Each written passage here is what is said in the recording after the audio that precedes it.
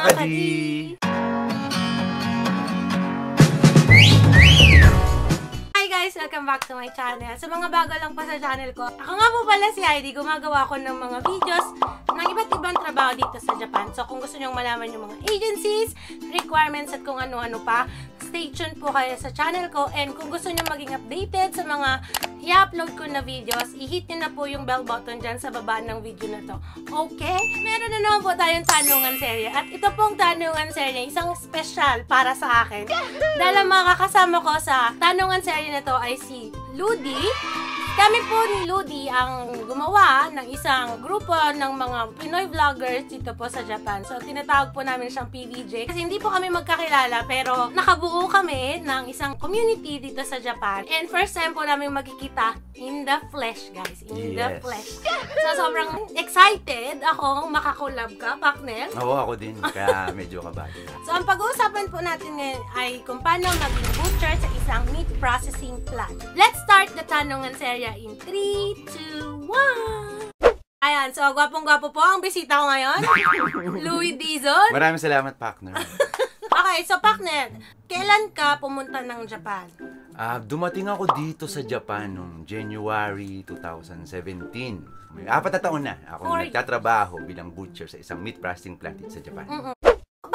Butcher yung naisipan mo na maging trabaho? Hindi man yung trabaho na butcher sa iba't ibang bansa. So, Middle East, Canada, New Zealand, Australia. Tapos nakita ko, Japan. So, bihirang-bihirang nakakita na nag-hire ng Japan na butcher. So, yun, sinubukan ko, nag-apply ako doon online. Then, tinawagan ako nung anong agency na pinag-applyan ko. So, doon na nagsimula. Speaking of agency, Mm. partner, anong agency yung nagpapunta sa'yo sa Ang agency ko ay Studio 85, located sa Pasay City. Doon ba sa ano, pagiging butcher, kailangan ba ah, skilled ka na? I mean, yung may experience ka na bago ka nila iselect? Dito sa Japan, ang nakakatuwa doon, kahit walang experience, sa kahit anong trabaho, o although yung mga talagang highly skilled na job, kagaya ng mga welder, mechanic, sa mga trabahong ganon, yung ibang company nagre-required na may experience ka sa trabaho nila. Especially sa ano, sa mga meat processing plants, sa iba't ibang factory na trabaho, hindi kailangan ng experience. So, yung mga ano dyan, aspiring na butcher na gustong magtrabaho abroad, I recommend talaga, subukan nyo yung Japan na mag-apply dahil kahit walang Hmm. experience, tumatanggap sila. Pero before ka makapapunta rito sa Japan, kailangan mag-aral ng Nihongo for 4 months. Actually, ano siya, yung minimum 2 months hanggang pinakamatagal yung 6 months. Mm. Dahil depende yon sa employer mo dito sa Japan. In your case, ilang months? Sa kaso ko, inabot lang ng 3 months dahil pagka tanggap sa akin nung sa interview o yung selection na tinatawag, pinapirma kaagad ako ng kontrata. Tapos meron na kaagad doon na schedule na date para makapunta dito sa Japan. Doon sa agency, partner, kung, naalala mo pa, ano-ano yung mga requirements na kailangan i-submit mo doon sa agency? Yung mga requirements, syempre number one, yung passport, then birth certificate, uh, local civil registry, NBI, um, 2x2 picture with white background, syempre yung naka-formal ano, attire, uh, diploma, TOR, basta basic na ano lang, basic na requirements lang, hindi kailangan nung TESDA, yung mga Mm, NC2 hindi sa pag-butcher. Hindi, hindi sila nagre-required nun. Although, ano yun, makakatulong yun doon sa pag-a-apply mo. Siyempre, dahil dagdag sa ano mo yun eh, resume mo. Kahit sabihin natin na, na hindi nila kailangan ng experience, pagka meron kang ganun, i-edge yun para matanggap ka doon sa ina-apply mong trabaho.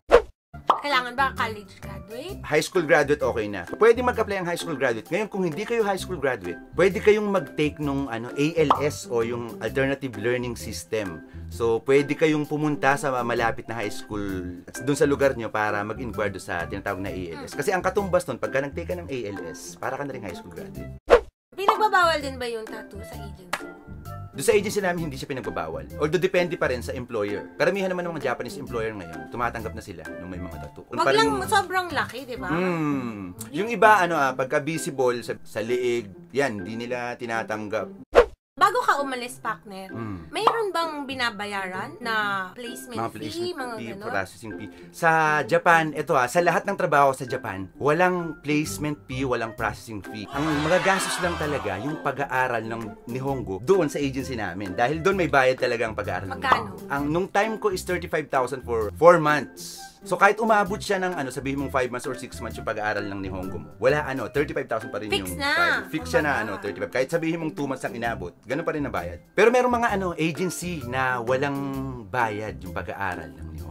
May alam ka bang agency na pwede nilang an- malaman para mag-apply sila? Mer- marami tayong mga ano alam na agency na pwede nyo applyan kung gusto nyo mag-apply as butcher. An- Yung agency ng ating kaibigan na si Kibuloy. Kibuloy, shout out! Ah, Prudential Employment Agency Incorporated. Yung Uno, andyan yung Uno. Oh, So, yung dalawang yon so kasama yung agency ko na Studio 85, yun yung mga legit na agency na pwede nyong applyan para makapagtrabaho kayo bilang butcher dito sa Japan. If you don't mind, Mm. ilang taon ka ba nung nakapunta dito? 34 years old. Pero ang nire-require nila is... Ang age limit talaga sa Age Japan, limit, yeah. 35 years old hanggang 35 years old. Although yung ibang agency, depende sa employer, Mm. saka sa agency. Minsan, ah, lampas sa 35 kasi may kabatch ako nun, ibang trabaho nga lang yung 38 years old siya nung nag-aaral kami ng Nihongo. So, depende sa employer at agency, pwede siyang lumampas. Pero syempre, ano yun, under approval ng agency at employer mismo. Pagiging butcher partner, kasi ano yan, di ba? Medyo challenging yung pinili mo na trabaho. Sa mga walang experience, Mm. ano yung pwede mong maging tips doon sa trabaho na gagawin nila dito sa Japan? Mm. Um, mahirap talaga ang trabaho lalo na dito sa Japan. Kumpara mo yung butcher sa Pilipinas sa Mm, butcher dito sa Japan, napakalaki ng diferensya sa trabaho. Ano yung difference? Unang-una, ang trabaho dito sa Japan talagang mabilisan. Kasi sa Pilipinas, 'di ba, ano, petiks-petiks lang kuya ako. Lalo na sa mga yung sa mga butcher na nagtatrabaho sa supermarket. Oh, ako nung first ano ko 6 months talagang mahirap, nahirapan ako. Um, Mahirap pang magmahal? Mahirap magmahal lalo na kung di ka minamahal. Parang totoo na yan ah. One way. Hindi ko alam kung anong sito. Yun nga, oh, mahirap, mahirap ang trabaho. Pero sobrang worth it dahil kung ikukumpara mo yung trabaho sa, sa Pilipinas at sa Japan, napakalaki ng diferensya. At the same time, yung sweldo talagang napakalaki din ng diferensya. Nabanggit mo na lang din naman, partner. Magkano naman ang sinasahod ng isang butcher dito sa Japan? Ang sweldo kasi dito sa Japan, para sa kaalaman ng ating mga viewers, no, per hour ang, ang rate dito. Nung unang dating ko dito, ang per hour ko is 850 yen. So that's around uh, more or less ano, 400 pesos. So ang laki ng diferensya, 'di ba? Kumpara mo dun Kumpara sa... sa Pilipinas na sumusweldo ako ng 450 pesos per day, no? Tapos dito, Per hour mo lang yun. Oh, per hour lang per hour lang makukuha. So sa isang buwan umaabot siya ng mga ano ah, 11 na lapad o 110. Cut na lahat. Net salary. Oh, net na 'yon, net na siya. Bawas na yung yung mga taxes, yung pati yung titirahan, yung apato o yung apartment mo. Ang magagastusin mo na lang doon yung pang-araw-araw mo na pagkain, saka yung mga Pang-date. bills, kuryente. Yung pang-date syempre ano 'yon? Ah, ibang usapan na 'yon. Sa sitwasyon natin ngayon na may COVID, Mm. partner, nag-hire ba yung company at saka yung mga agencies na sinabi mo kanina? Mm. Still hiring pa ba sila? Mm, nag-hire pa. Continuous naman ang, ang hiring. Although, yun nga lang, yung ibang agency, ang ginagawang interview is online. So, yung Mas mga... madali. Mas madali, oh. Mas madali. So, lalo na yung mga nasa probinsya, hindi na kailangan pumunta doon sa agency para mag-apply. Ah, mag-send lang kayo ng email. Then, pagka na-shortlist kayo o yung pumasa doon sa initial screening, tapos pag mayroong employer, kukontakin na lang kayo. Tapos, ayun, scheduled kayo for interview online. Mo to, partner. Mm. And gusto ko rin syempre i-share mo sa mga Mm. viewers natin na during the trade test, Mm. ano yung ginawa mong kakaiba? Malaking impact Mm. dun sa mga employer. Kasi Japanese employers interview o yung tinatawag na selection, meron talagang trade test lalo na sa mga ano, skilled na trabaho. So yung butcher, pag butcher is ano siya, skilled job siya, no. So ang pinagawa sa amin doon is i-demo namin kung ano yung ginagawa naming trabaho. Mm. So そう。Lima kaming aplikante. So yung kaibahan kasi nung mga ginawa nung kasama kong aplikante is doon sila sa slaughtering. Mm. So, yung sa akin naman, ang sabi ko sa interpreter, ito pong gagawin ko ay after nung mas slaughter yung baboy, doon naman po ako sa ano sa deboning. So, yun yung pagtatastas no o yung kakat mo siya into primal section. So, ang ginawa ko, ito po yung baboy sa harap ko. So, hihiwain ko po muna yung ah, pork shoulder o yung tinatawag na kasim. Papakita ko lang na ganun, hawak ko yung paanong baboy tapos slide ko yung kutsilyo. Then sa taas, yung ihiwalay yung belly at yung tenderloin.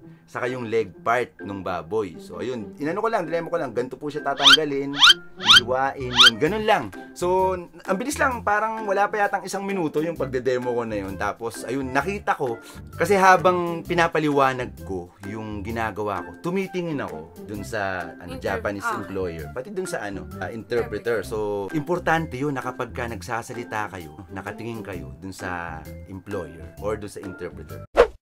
Ano yung be- worst experience mo dito sa Japan? Or to be specific, sa trabaho? Mm. Sa trabahong worst experience ko talaga is ilang beses na akong na sugatan, na aksidente. Parang ano Ganun ba? Ako rin parang masusugatan din ako eh, ng tingin ko. Marami na sugat mo Sa butcher ba, yung may dapat alam ka din sa mga knives? Kahit wala, kahit wala. Kasi talagang pagkadating dun sa Japan, ibang-iba yung way ng pagdedebone ng Pilipino at ng mga Japanese. Ang laki ng diferensya. Kumbaga sa atin, pag magdedebone ka, yung buto, maraming laman dahil ano siya, magkasamang binibenta. Dito sa Japan, klase ng pagdedebone nila, halos walang laman na naka, ma- may iwan doon sa buto. Yung tipong magagalit yung ano, aso pagka binigay mo yung ano na yun, yung buto na yun. Ganun sila magdebone. Kaya sobrang hirap. Four years ka na dito, di ba? Mm. Di ba ang karaniwang contract lang ng trainees? Mm. Three. Three years. Three years. Initially, bibigyan kayo ng one year na contract. Then, before matapos yung one year, mag exam Pag nakapasa ng exam, um, extension ng two years. So, tatlong taon. Ngayon, pag magustuhan ka ng employer, bibigyan ka pa ng another two years na extension. So, yun nangyari sa akin ngayon, pang four years ko. After a year, uuwi uli ng Pilipinas, tapos babalik uli sa Japan for five years. Yun na yung ano, specified skilled working visa. Specified skilled worker visa, Mm. for trainees lang yun. Kahit hindi ka pa ano nakapag-Japan, pwede ka mag-apply ano for specified skilled working visa. Ah, so guys, kung gusto nyong malaman pa yung more detailed na information, Hmm. puntahan nyo po yung channel niya kasi gagawa siya ng vlog regarding SSW visa. Ayan o, Ludionit. Yung Oh.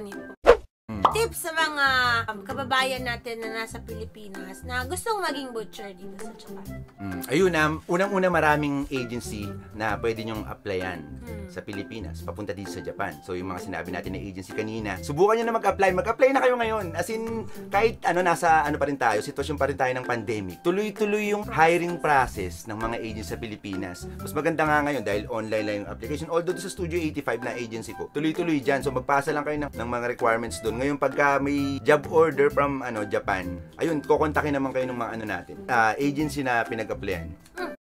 Partner! Hmm, dala. In love ka ba ngayon? Seryoso ba yan, oh? Ah, seryoso? Tanungan seri. Oo nga, no? Medyo bigla akong na-hot seat dito. Oh, oh, yes, yes, yes. I'm in love. Kumanta.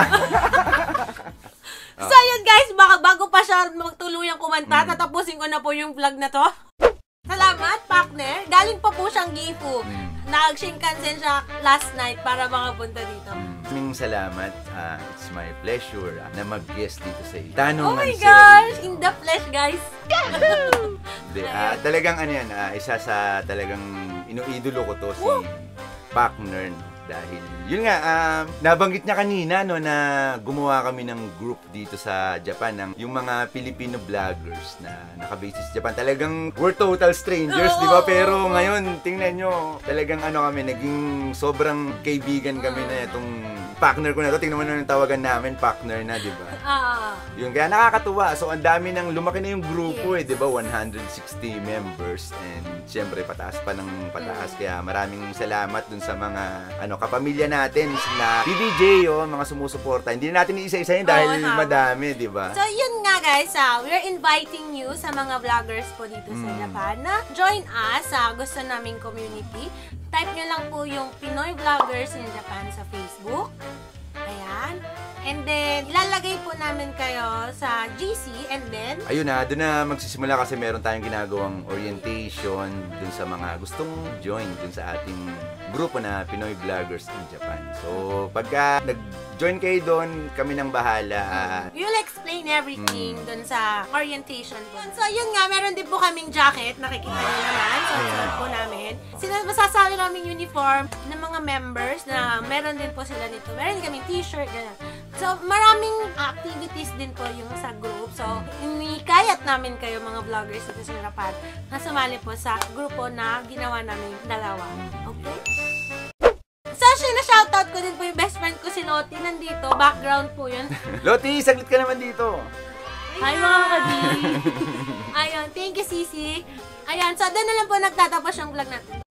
Don't forget to Like, share, and subscribe, guys. subscribe. Thank- thank you, mga kadi.